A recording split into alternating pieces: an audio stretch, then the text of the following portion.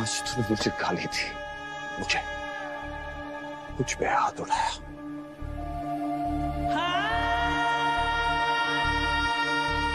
राम और शाम की तरह हैदर और हैरी। इतनी बकबक कैसे कर लेते तुम?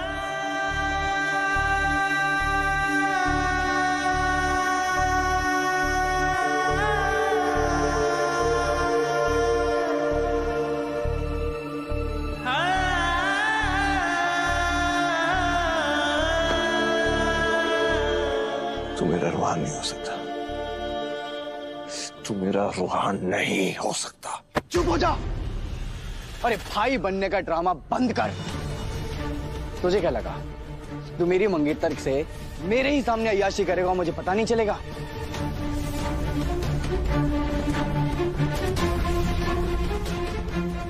तेरी अलग से मैं जबान खींच लूँगा समझे? क्या बोला तूने? क्या बोला तूने? क्या कहा? बकवास बात कर अपने।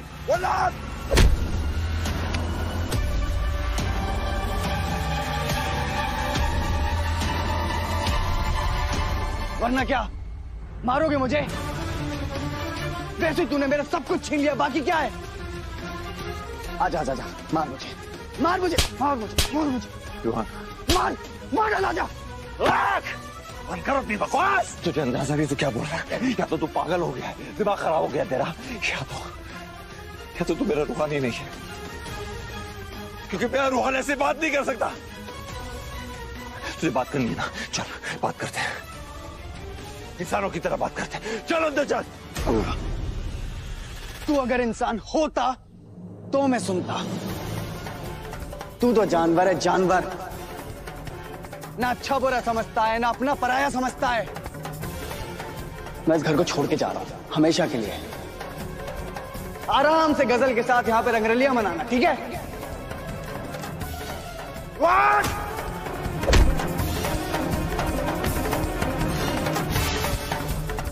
अब तो कहीं नहीं जाएगा। और वो मेरी नहीं तेरी और तेरा निकाह उसके साथ होकर रहेगा। समझा तो?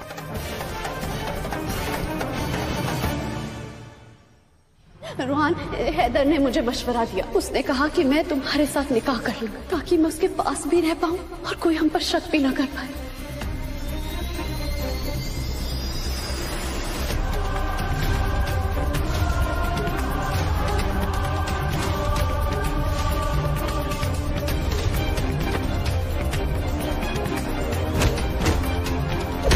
किस मिट्टी का बनाया तू? मेरा भाई मेरा दुश्मन बन गया। तुम्हारे बेबुनियाद शक की वजह से रूहान की सोच बदल गई। उसके दिल में जहर डल गया। आप समझ नहीं रहे कि सब कुछ गज़ल की वजह से हो रहा है। ये सब कुछ तुम्हारी वजह से हो रहा है दुआ। गज़ल की वजह से नहीं। रूहान की अम्मी के बहकावे में आके तुमने सब बर्बाद कर दिया।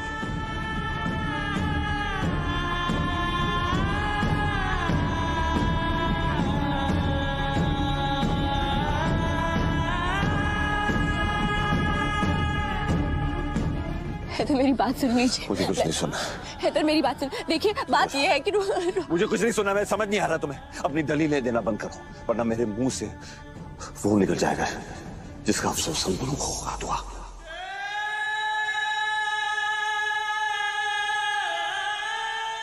तो खुदा के लिए मेरी बात सुन लीजिए हैदर। हैदर मेरी बात सुन। हटो मेरे रास्ते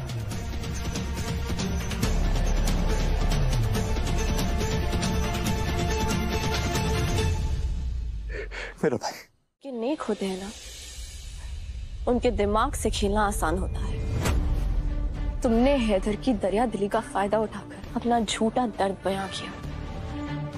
पर इसमें तुम्हारा कोई कमाल नहीं। ये तो मेरे हैदर की नेक दिली है, जो तुम्हें मुश्किल में समझकर तुम्हारी मदद कर रहे पर जानती हो, सच्चाई कभी ना कभी सामने आ ही जाती है। और जिस दिन हैदर को पता चला कि तुमने झूठ बोलकर उनका सहारा लिया था। उस दिन वो तुम्हें बताएँगे। ये नेक इंसान के जज्बातों से खेलने का क्या नतीजा? होता है तुम खुद को इस घर की हकदार समझने लगी हो ना? मगर देखना, एक दिन हैदर तुम्हें धक्के मार के इस घर से निकालेंगे। हैदर बहुत नर्म दिल है। उनके दिल में हर उस इंसान के लिए बहुत मोहब्बत और हमदर्दी है। जिस दिन उनको तुम्हारा असली चेहरा दिख गया उनकी मोहब्बत को आग लगने में वक्त नहीं लगेगा। और वो आग तुम्हारे इन ख्वाबों के महल को जलाकर राख में बदल देगी।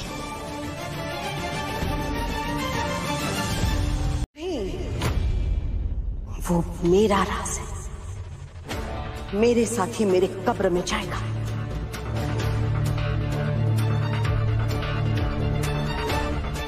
किसी को मुँह खोलने की इजाज़त नहीं दूँगी मैं। तो भाइयों की मोहब्बत को दुश्मनी में तो तब्दील कर ही चुकी हो तुम।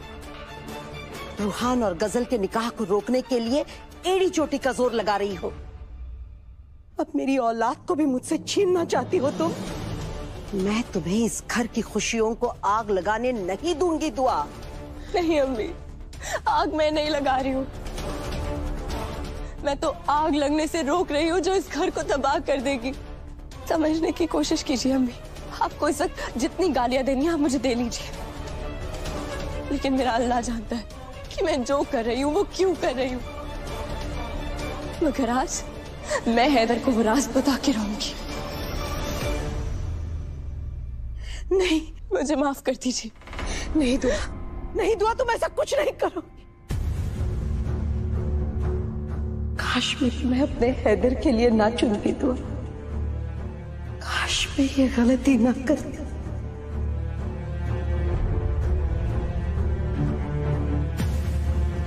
इतने अरसे तक एक अच्छी बहू, एक अच्छी बीवी होने का ढोंग रचाती रही तुम। अगर तुम्हारा असली चेहरा तो सामने आ ही गया। कभी माफ़ नहीं करूँगी।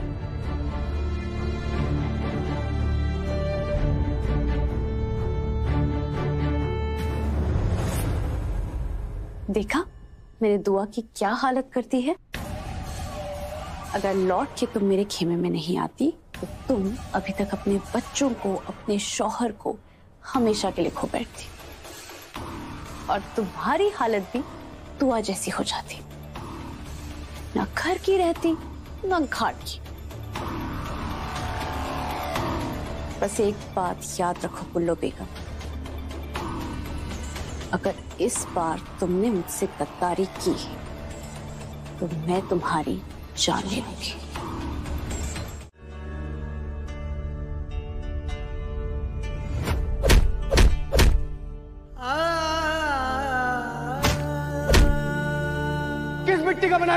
अपनी माशुका का निकाह मुझसे करवाना चाहता है।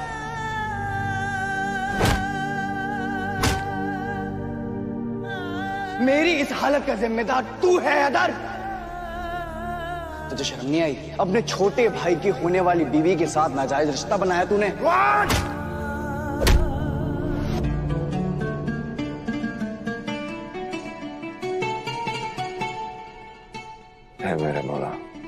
तेरी दरगाह पर एक फरियाद लेकर आया हूँ। सके तो कबूल करना।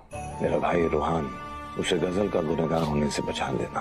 क्योंकि एक औरत की बदुआ जिंदगियाँ बर्बाद कर देती है। और हो सके तो रूहान को इस निकाह के लिए तैयार कर देना। दुआ दुआ को रूहान की अम्मी ने बहका दिया। उसे सही रास्ता दिखाना।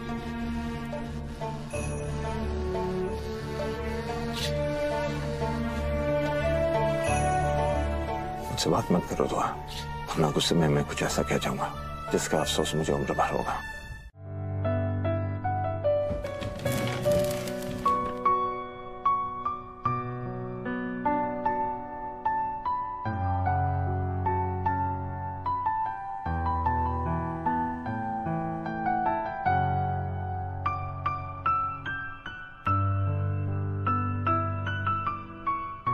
I love you, Heather.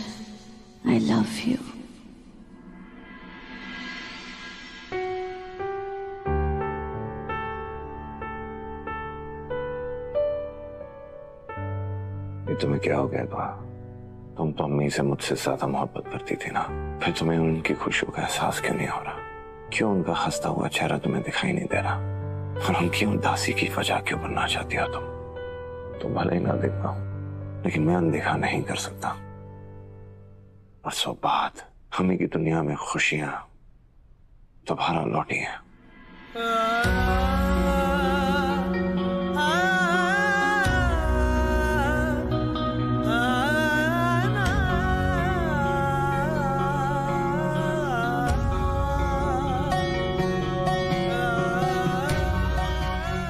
किसी को भी उन्हें छीनने नहीं दे सकता। तुमने इस घर को जोड़ के रखा था ना दुआ? आज तुमने इस घर के टुकड़े टुकड़े कर दिए। अपनी दलीलें देना बंद कर वरना मेरे मुँह से वो निकल जाएगा जिसका अफसोस हम दोनों को होगा दुआ। खुदा के लिए मेरी बात सुन लीजिए हैदर। हैदर मेरी बात सुन। अगर ये निकाह हो गया तो, तो हम कहीं के नहीं रहेंगे। कहा जा रहे हो आप हैदर? मेरी बात इस सुनिए तमाशे से दूर। ना फरमान भी ना हो। हैदर? हैदर मेरी बात सुनिए।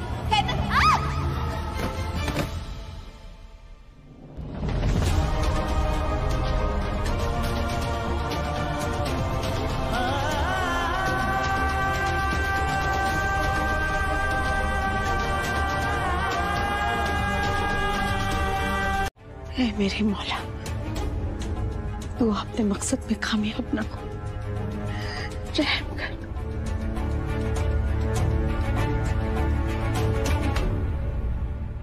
भाभी ये सब क्या हो रहा है? ये शादी सच में होने वाली है क्या? भाईजान ने क्या कहा? आपकी बात हुई क्या उनसे?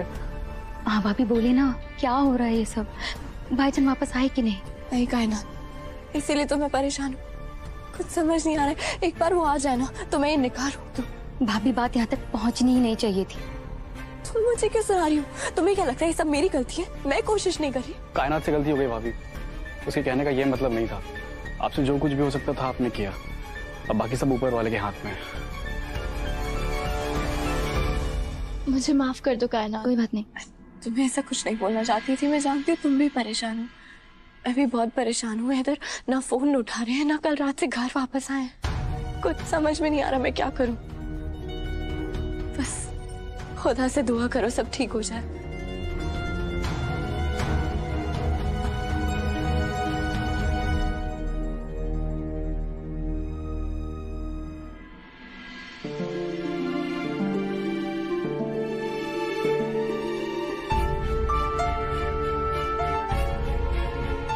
दुआ बच्ची, तुम्हारी मायूसी देखकर मुझे बहुत बुरा लग रहा है। मगर गज़ल के सामने तुम्हारा जीतना नामुमकिन है। मैं चाहकर भी तुम्हारी मदद नहीं कर सकती, दुआ। हो सके तो मुझे माफ़ कर देना। तुम हार गई, दुआ। हैदर, मैं हार नहीं सकती। जल्दी से वापस आ जाइए।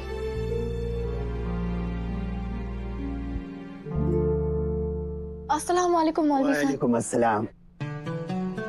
मौलवी साहब। अस्सलाम वालेकुम वालेकुम अस्सलाम। आइए।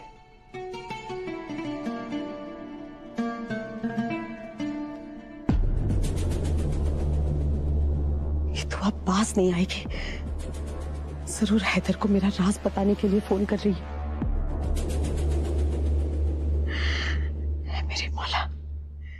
इसके पहले कि ये लड़की कुछ कर ले, ये निकाह हो जाना चाहिए।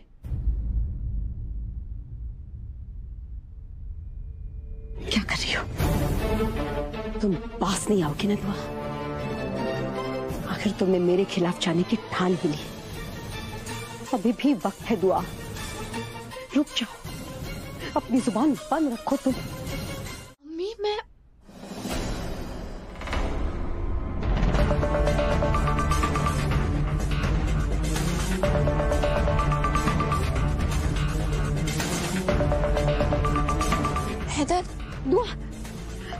साहब दूल्हा दुल्हन को बुलाइए। हाँ बस आते ही हूँ।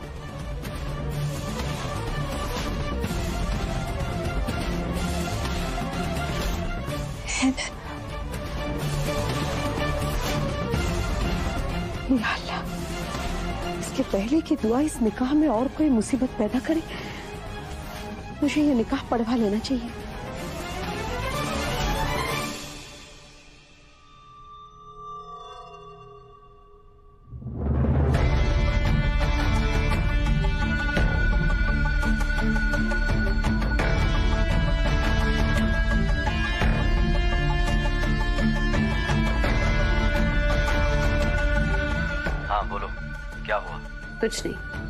तुम्हारी हौसला अफजाई के लिए फ़ोन किया था।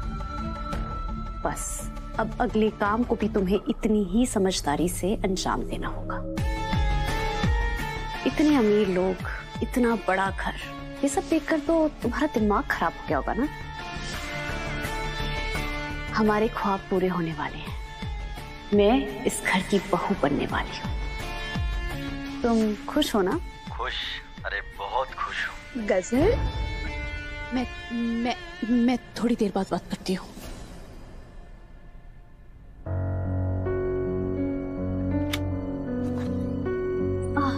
अम्मी। माशाल्लाह अर्श से ज़मीन पर उतरी हुई हूर नज़र आ रही हो बेटा। अल्लाह तुम्हें हर बुरी नज़र से बचाए मेरी जान। शुक्रिया अम्मी। अब चलो जल्दी रूहान भी आता ही होगा। आओ। अब अभी अम्मी निकाह के लिए तो वक्त है ना? तुम्हारे निकाह का वक्त बदल दिया गया है। अब तुम्हारा निकाह जल्दी होगा। आओ।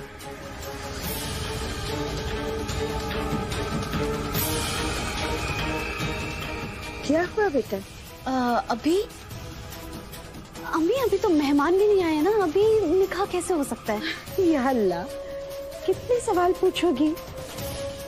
दादी अम्मी, दुआ कीजिए कि मैं अपने इम्तिहान में कामयाब हो जाऊँ। जो मैं करने वाली हूँ, उसके बाद हैदर और अम्मी दोनों शायद मुझे कभी माफ़ ना करें। पर आप तो जानती है ना मैं ये सब क्यों कर रही हूँ। आप मेरे साथ है ना, दादी अम्मी।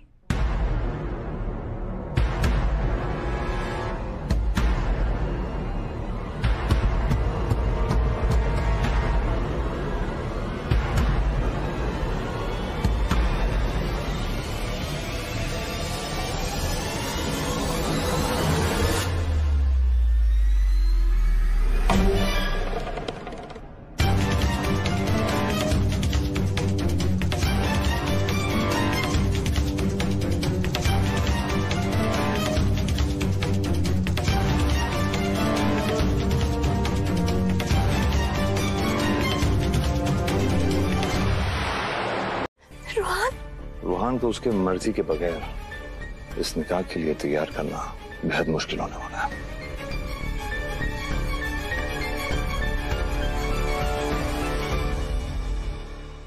रोहन, जल्दी उठो। रोहन। रोहन रोहन उठो। मुझे माफ़ कर दो, रोहन। पर जल्दी से उठो तुम्हें यहाँ से निकलना होगा। उठो जल्दी।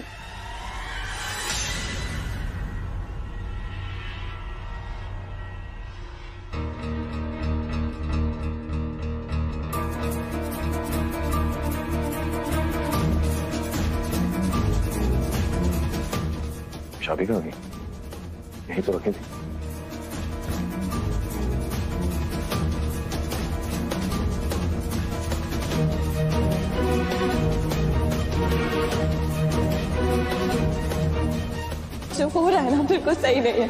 क्या सही नहीं हो रहा? हमें ये निकाह रोकना होगा। हैदर रुक जाइए। अगर ये निकाह हो गया तो, तो हम कहीं के नहीं रहेंगे। इच्छा की दुआ नहीं ली होगी क्या ये सब क्या क्या कर रही है भाभी? चाहिए आप यहाँ से चले जाइए। रुहान मेरी बात सुनो। देखो आपके शोहर ने मुझे कहीं का नहीं छोड़ा। अल्लाह उसे कभी खुश नहीं रखेगा। और वो गज़ल बदसात गज़ल। हमेशा बर्बाद रहेगी वो। रोहन, जानते हैं कि मैं उससे कितनी मोहब्बत करता था। और मैं हैदर को बहुत अच्छा समझता था भाभी। लेकिन पीठ पीछे उसने मेरे छुरा भोंका। मैं उसे छोड़ूँगा नहीं। रोहन! चुप। बिल्कुल चुप। खड़े हो। खड़े हो। मेरी बात सुनो। रोहन मेरी तरफ़ देखो। तुम मुझे अपना सीक्रेट लॉकर मानते हो ना? अपनी दोस्ती के नाते। एक बार बस मेरी बात सुन लो कि मैं क्या कहना क्या चाहती हूँ। गज़ल अपनी साजिशों में कामयाब हो गई। है वो दुल्हन मन के नीचे बैठी है और तुम्हारा इंतज़ार कर रही है। मैंने इतनी कोशिश की है निकाह रोकने की पर मैं नाकाम हो गई हूँ। अब बस एक ही रास्ता है। कौन सा रास्ता भाभी? तुम यहाँ से भाग जाओ। चले जाओ यहाँ से।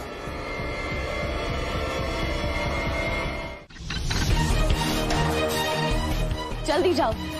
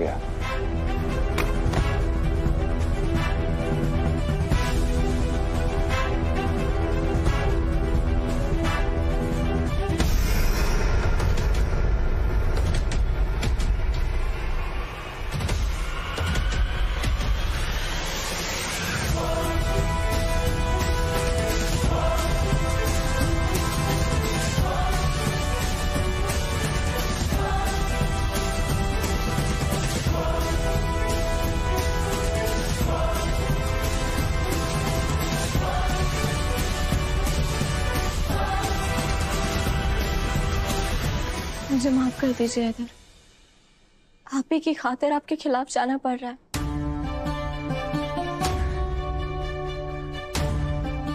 फ़ोन भी नहीं उठा रहा। है हमारा प्लान कामयाबी की मंजिल तक पहुँच रहा है। रूहान खिड़की कूद के भाग गया। तुम्हें भी मुबारक हो। अब सब कुछ तुम्हारे हाथ में। गलती नहीं होनी चाहिए। गलती और मुझसे। चांस ही नहीं अब आएगा ना मज़ा इस खेल में। बहुत रह लिए कैमरे के पीछे। रिकॉर्डिंग करते करते। आ रहा हूँ तुमसे मिलने। गज़ल। अब आएगा असली खेल का मज़ा। अ, अम्मी।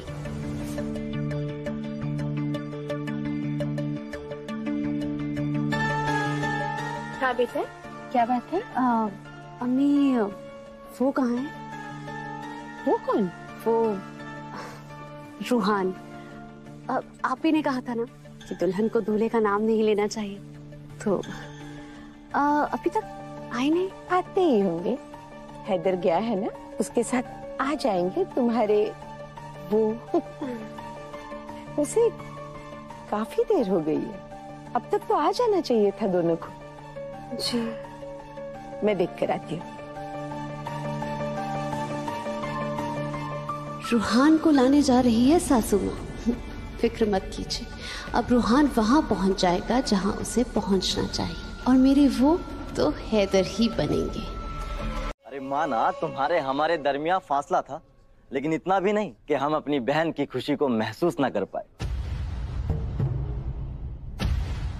और जैसे ही हमें इतला मिली कि हमारी बहन की शादी होने वाली है, सब छोड़ छाड़ के हाजिर हो गए।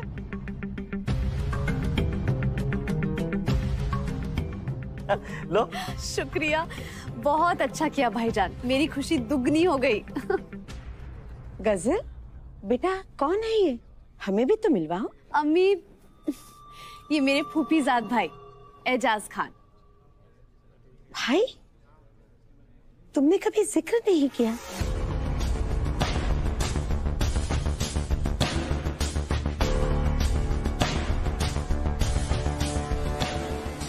गज़ल? ये बहुत गलत बात है। आपने अपने ससुराल वालों के सामने हमारा ज़िक्र तक नहीं किया।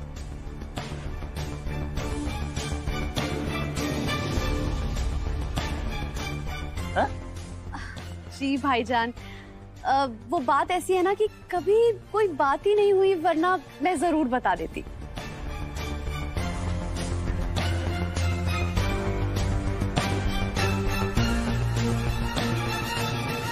माशाल्लाह। इतने अच्छे भाईजान है तुम्हारे। और तुम तो कहती रही कि तुम्हारा इस दुनिया में कोई नहीं है।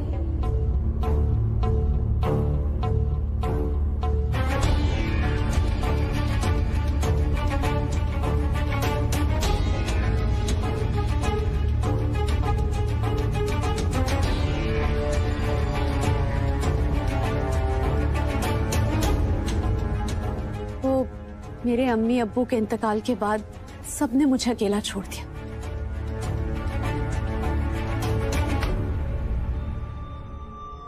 यही यही बात मुझे गज़ल की हमेशा गलत लगती है।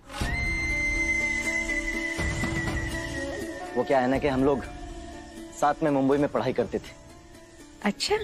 और मैं हमेशा इसको बोलता था कि गज़ल तुम्हारा भाई अभी ज़िंदा है और मरते दम तक तुम्हारा साथ देगा।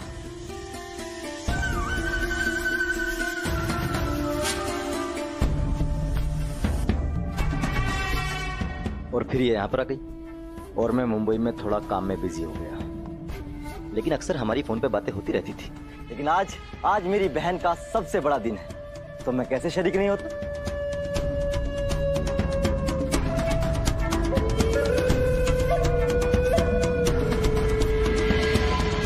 हैदर अचानक गजर का भाई कहाँ से आ गया? ये आदमी मुझे कुछ ठीक नहीं लग रहा। इसमें से साजिश की बू आ रही है मुझे। साजिश की बू तो मुझे तुमसे आ रही है। हाय अल्लाह ये तो कयामत के आसार है कयामत के।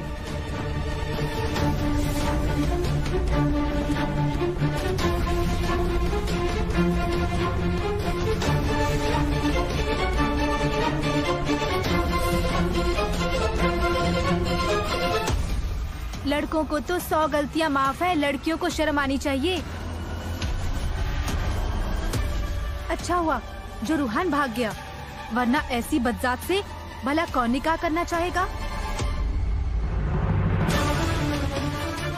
कितना गंदा वीडियो है, लड़की तो गैर है, हैदर तो भाई है रूहान का, अपने ही भाई की मंगेतर पे गंदी नज़र डाल दी। तोबा, तौबा।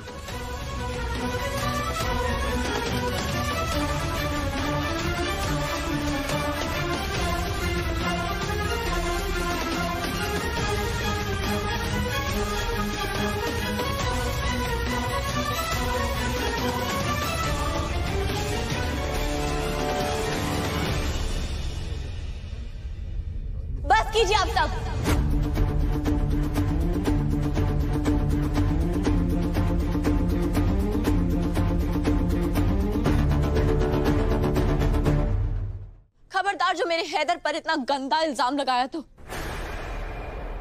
कुछ नहीं किया हैदर ने। और इस वीडियो के बारे में क्या ख्याल है? क्या ये भी झूठा है?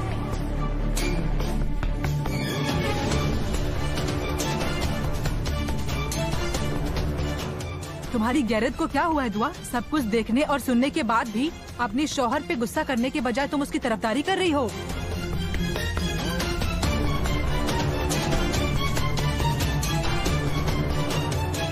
इस घर की औरतों में अजमत नाम की तो कोई चीज़ ही नहीं है। सौतनों को पनाह देने का रिवाज तो पहले से है।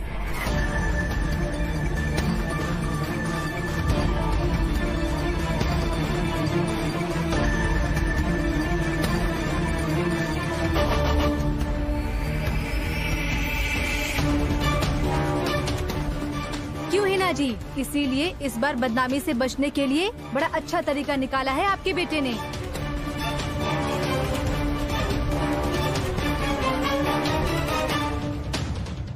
हाँ दुनिया के सामने भावज अकेले में माशुका।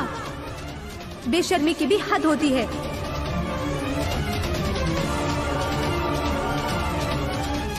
ये वीडियो ज़रूर कोई गलत फहमी है रूहान के फ़ोन पे कैसे आई? ये मुझे पता करना है। मैं बताती हूँ।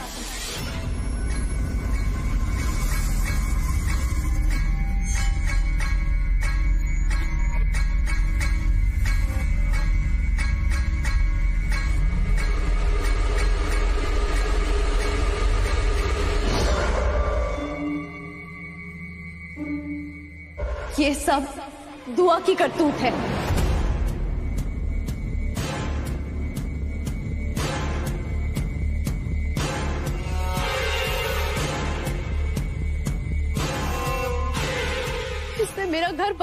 पहले उजाड़ दिया। मेरी बर्बादी की वजह आपकी बहुत दुआ है अबू।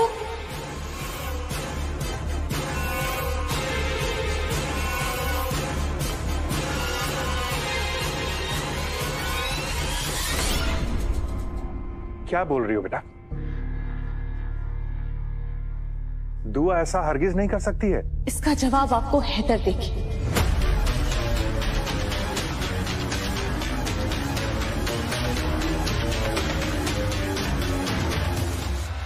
बताओ हैदर बताओ क्या, क्या मैं झूठ बोल रही हूँ? क्या इस सब की जिम्मेदार दुआ है या नहीं?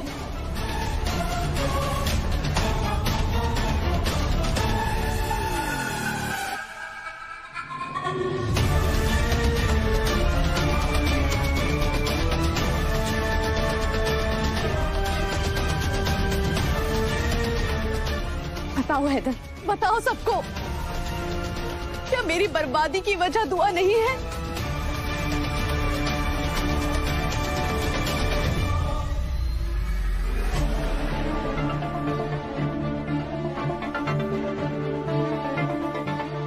तुम्हारी खामोशी तुम्हारे किरदार पर उंगली उठा रही है, हैदर। क्या मैं ये मान लू कि तुम अपनी बीवी के गुनाह पर पर्दा डाल रहे हो?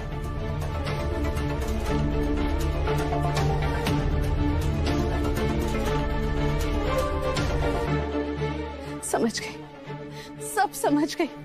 तुम अपनी बीवी का साथ देकर अच्छे से अपना फ़र्ज़ निभा रहे हो। अल्लाह तुम जैसा शौहर हर लड़की को दे। लेकिन तुम जैसा दोस्त या तुम जैसा भाई किसी को ना मिले।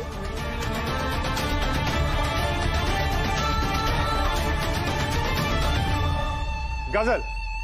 पहेलियाँ बुझाना बंद करो और साफ़ साफ़ बताओ बात क्या है। मैं कैसे बता सकती हूँ?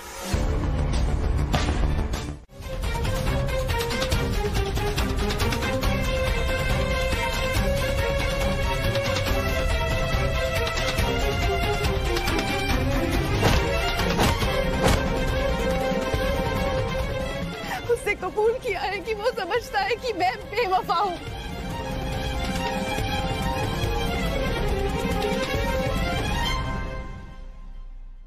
मेरा और हैदर का नाजायज रिश्ता है, पूछिए हैदर से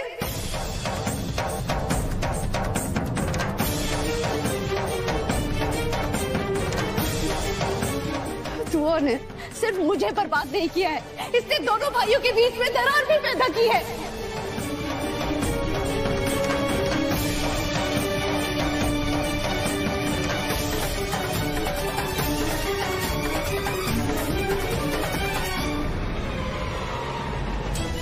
मैं मर जाऊँगी, पर रूहान और गफर का निकाह नहीं होने दूँगी।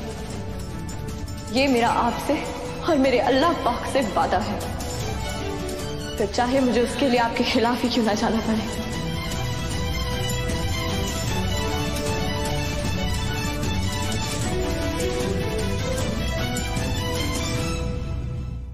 बदजात लड़की, खुदा से डर। अपने मरे हुए अम्मी अब्बू का तो लिहाज कर। कयामत के रोज क्या मुँह दिखाएगी उनको? खबरदार! जो मेरे मरूम मम्मी अब्बू का नाम अपनी जबान से लिया तो लूँगी हज़ार बार लूँगी। जहाँ कहीं भी होंगे ना वो बेचारे शर्मिंदा हो रहे होंगे तुझ पे लानत भेज रहे होंगे। बस।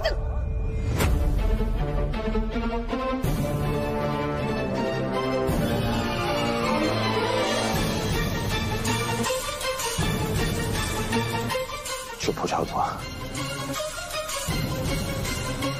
तुम्हारा बचाव करते करते मैं थक गया हूँ।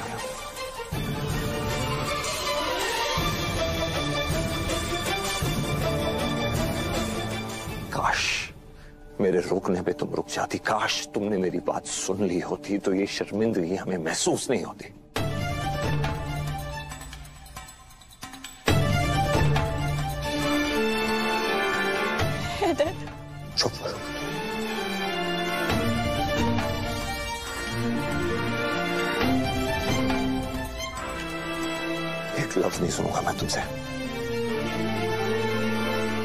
तुम्हारा साथ देकर आज पहली बार मुझे एहसास हो रहा है मैं थक गया हूँ।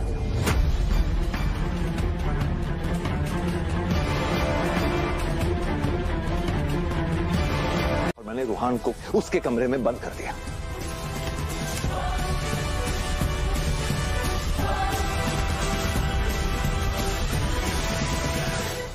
लेकिन दुआ दुआ ने मेरी जेब से चाबी निकालकर रोहन को रिहा कर दिया। इस घर से ही भगा दिया।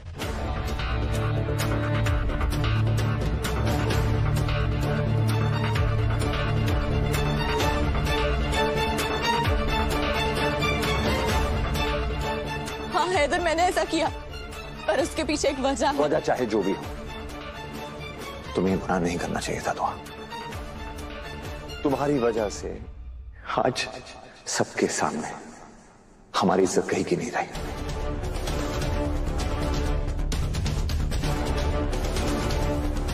और इसकी सजा किसको मिली गसल को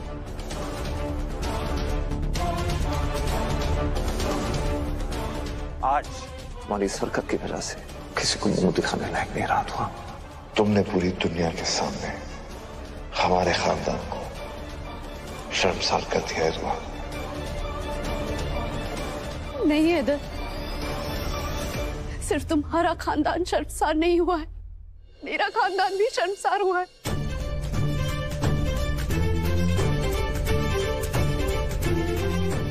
मुझे तो यकीन है कि हमारा वीडियो भी दुआ ने ही बनाया है।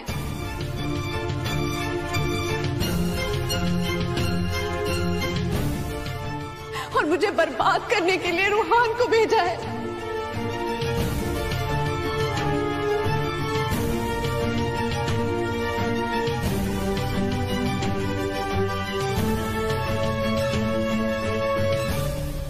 नहीं गजब वो जितनी भी ना समझ हो, लेकिन ये काम उसने नहीं किया।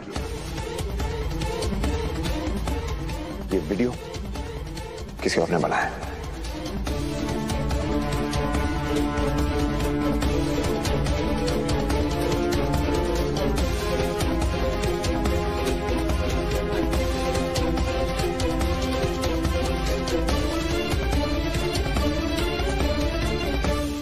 आज पहली बार तुम्हें अपना कहते हुए मुझे शर्म आ रही है तो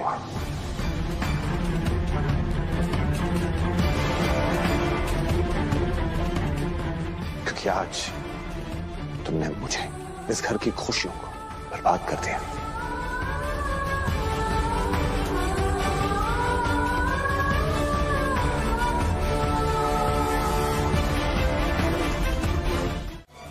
शैतानी मंसूबे अभी तक खत्म नहीं हुए। क्या चाहती हो तुम? रूहान को मेरी ज़िंदगी से छीन कर तो तुम मुझे बर्बाद कर ही चुकी हो। अब और क्या चाहती हो? देखो मुझे। मैं ज़िंदा लाश बन चुकी हूँ, दुआ क्या चाहती हो? तुम तुम मेरी जान ले लो। तुम तुम मेरी जान ले लो। तुम मुझे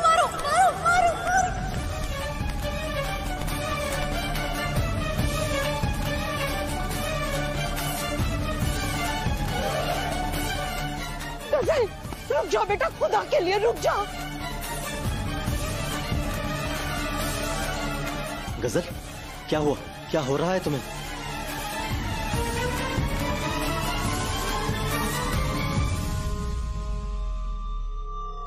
गज़ल! गज़ल? भाभी भाभी। गज़ल? अरे पानी लेके आओ जल्दी से। हाँ।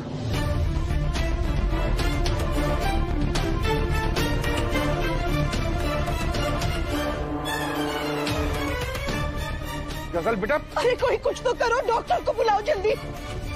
ये लीजिए।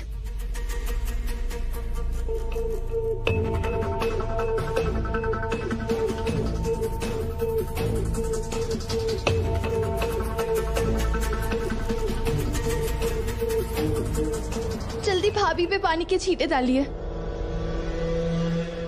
गज़ल गज़ल उठो। लगता है बेहोश हो गई। जल्दी से डॉक्टर को फ़ोन करो। जी भाई मैं भी करता हूँ। नौटिंग की बात कहीं की ज़रूर इसीलिए ड्रामा किया होगा। गज़ल उठो प्लीज़ तुम इसे कमरे तक लेके जाओ। ठीक है भाईजान। जल्दी से डॉक्टर को बुला लेना। हेलो डॉक्टर अंसारी से बात कर सकता हूँ।